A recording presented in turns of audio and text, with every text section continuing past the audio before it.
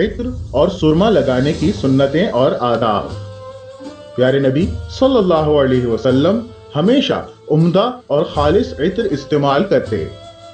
प्यारे नबी, सल्लल्लाहु अलैहि वसल्लम के प्यारे असहाब आपस में खुशबू के तहाइफ का तबादला किया करते।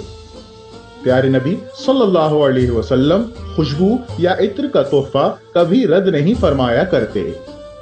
प्यारे नबी, सल्लल्लाहु अलैहि वसल्लम के बाद असहाब के मुताबिक आप सल्लल्लाहु अलैहि वसल्लम का पसीना मुबारक, मशहूर कुन इत्र की मानंद था। प्यारे नबी, सल्लल्लाहु अलैहि वसल्लम के असहाब का मानना है कि खुशबू की धूनी लेना सुन्नत है, यानी अगरबत्ती का इस्तेमाल भी जायज़ है। प्यारे नबी, सल्लल्लाहु अलैहि वसल्लम सुरमाए अतमद इस्तेमाल करते और फरमाते, ये आँखें रोशन करता और पलकें बढ़ाता है।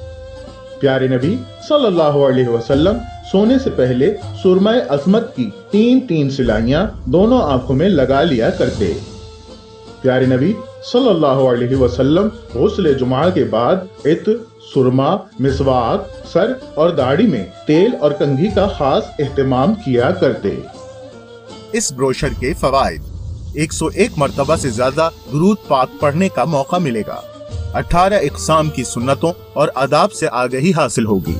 110 से जायद सुन्नतें और आदाब सीखने का मौका मिलेगा। सुन्नतें सीखकर दूसरों को सिखाने का मौका मिलेगा। नाख्वानदा अफराद और बच्चों को पढ़कर सुनाया जा सकता है।